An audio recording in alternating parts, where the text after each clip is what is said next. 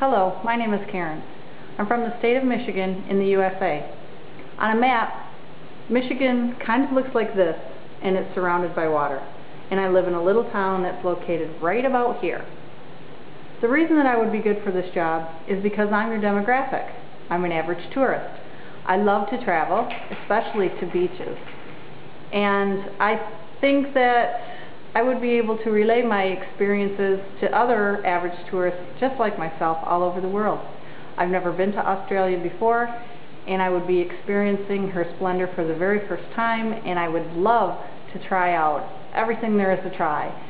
And I would love to be able to write about it for other tourists and inspire them to take their next holiday in Australia. I'd love to be able to say to them, welcome to Australia.